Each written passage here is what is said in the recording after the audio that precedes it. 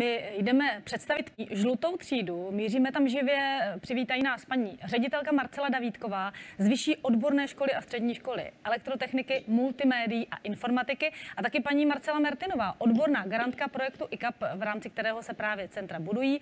Paní ředitelku, můžete tady představit koncept žluté třídy?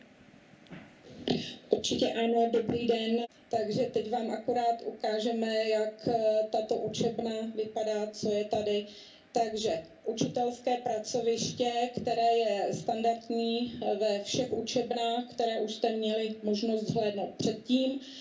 Eh, máme tady dokovací stanici na all-in-one, které, o kterých mluvila paní ředitelka Malotová ve studiu a ty už potom tady i vidíte, jak studentky na nich pracují. Celá učebna, tak jak to máme my v tuto chvíli eh, koncipováno, je jedna polovina je koncipována na frontální výuku s počítači, ale druhá je už přímo předpřipravena na takové ty volné aktivity, diskuzní aktivity.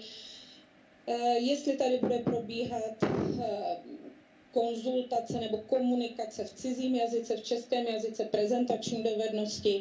My v tuto chvíli plánujeme právě díky koronavirové nákaze a uzavření škol jsme bohužel museli opustit několik mezinárodních výjezdů do španělské Barcelony a na Slovensko, takže my tady v příštím týdnu budeme mít eh, velký online, eh, velkou online konferenci právě se španělskou Barcelonou Jinak, když se podíváte po učebně, tak je tady dostatek úložných prostor, eh, je tady opravdu eh, prostor připravený tak, abychom mohli postavit třeba i ty umělecké eh, malířské stojany, které potom jak si zaplní tuhle tu část prostoru.